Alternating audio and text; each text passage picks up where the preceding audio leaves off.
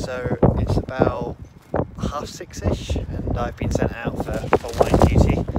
Um, sorry for the wind in advance. Um, but I just thought this was kind of like worth showing because, you know, I don't know about you, but like, hold on, let me just change the camera around.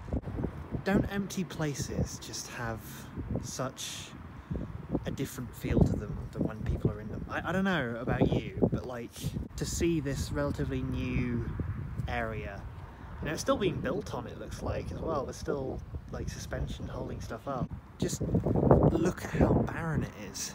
It's almost sad. Like look at how gorgeous the weather looks. I just hope that this whole thing sorts itself out soon because it's really, really sad to see spaces like this just completely abandoned.